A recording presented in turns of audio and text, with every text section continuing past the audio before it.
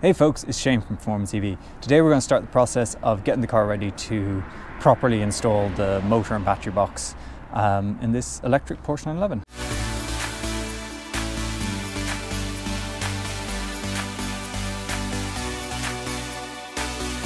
Hey folks, welcome to the channel. Thank you so much for joining us. So for those of you new to this channel, this is my project to put a Nissan Leaf motor into a Porsche 911. Now, the Nissan Leaf motor and the battery are all going to go in this space here, but this is currently empty because I've taken all the components out of the car, as you've seen in a previous video, to um, basically to make things, make all the necessary permanent structures. So that's proper mounting, um, that's the battery box to house the battery and that sort of thing. So now that we've got this space wide open, first thing I want to do is actually give it a proper clean um, and get rid of all the extra components that are running through it that I don't already need. So things like our brake pipes, or not our brake pipes, fuel lines, um, power steering lines and that, things that I've kind of either no longer using or have circumvented, um, but which are getting in the way of me being able to take proper measurements and actually design the, the mounts and that properly. So I'm going to clear everything out. I'm going to get in here with the pressure washer, degreaser, um, deal with any rust that I find and yeah, just hopefully get the car in a in a place where we can actually move forward with reinstalling all these components. So yeah, let's get to it.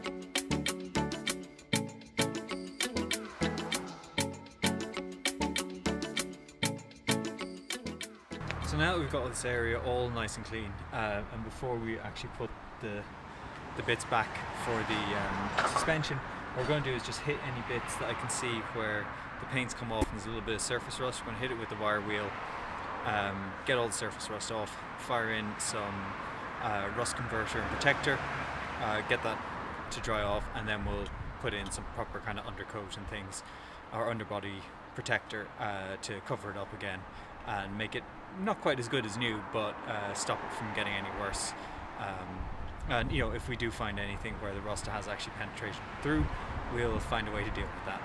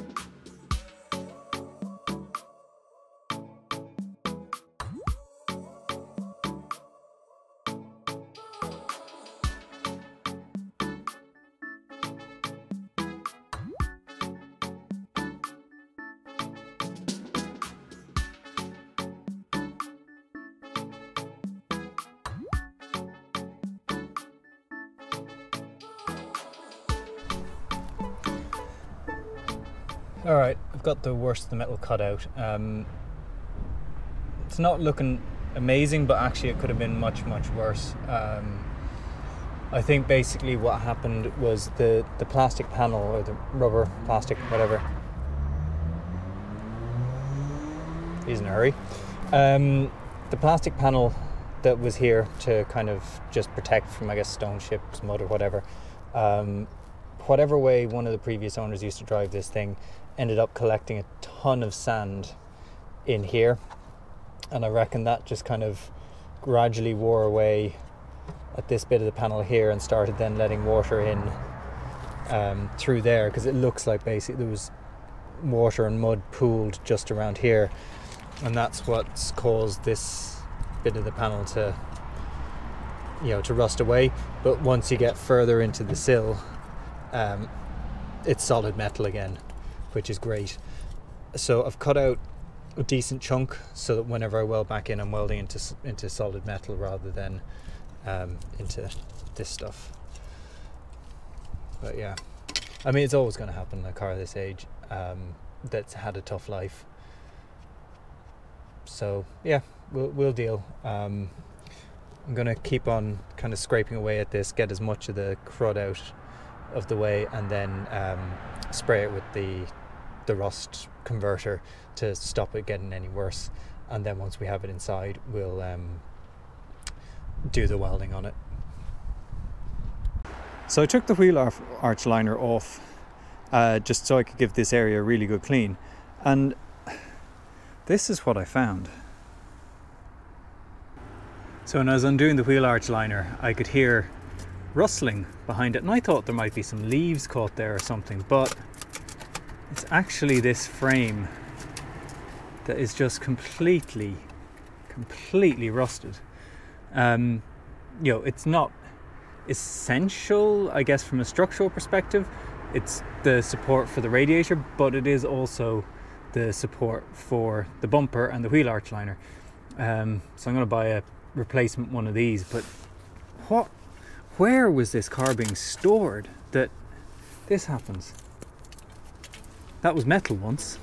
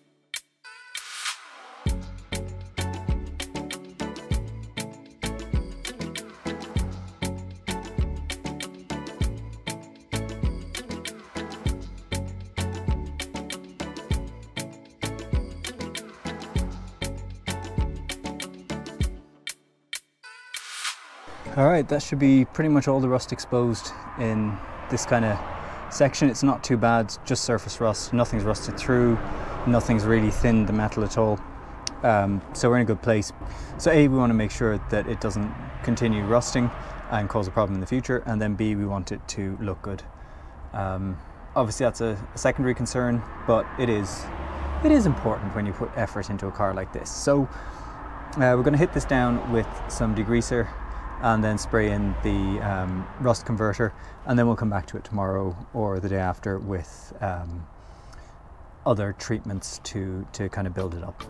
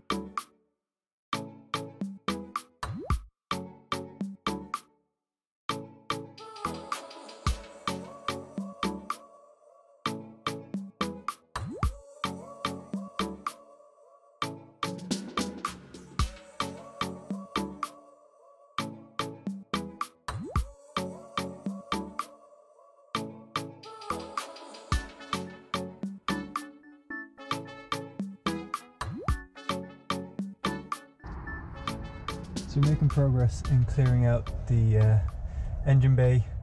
Uh, gonna go the next step further. Uh, keep heading towards the front of the car. Get out the temporary mount that I put in place um, for the front of the gearbox and um, yeah, keep on getting all these different pipes and everything out of the way. Let's get to it.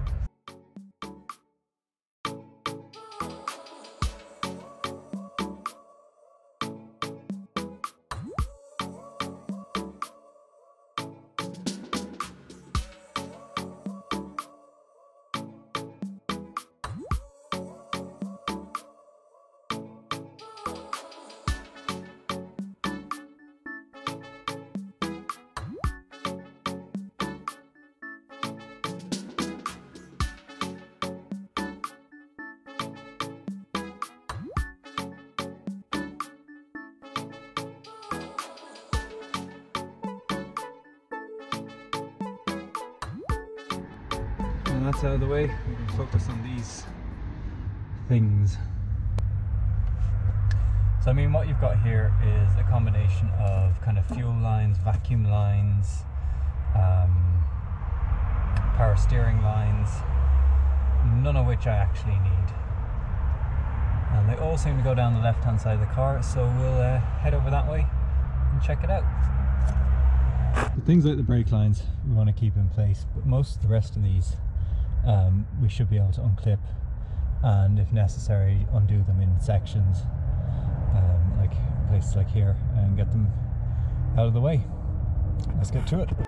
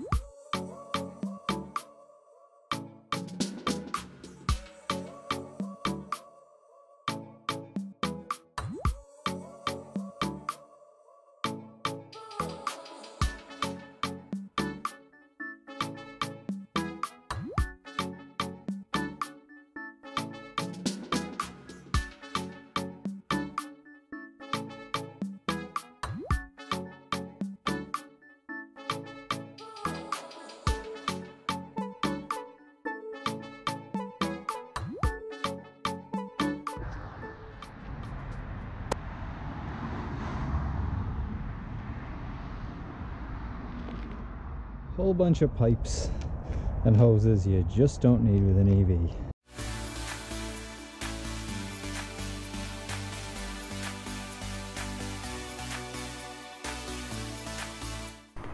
So that was a bit of a tale of two halves. Um, so great that we got everything cleaned up and it's looking really good.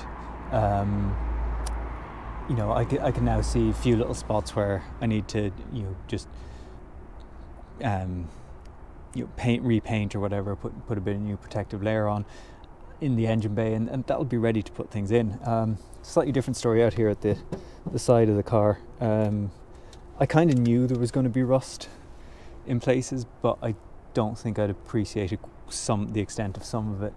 Um, it's not, yeah, it's not the end of the world.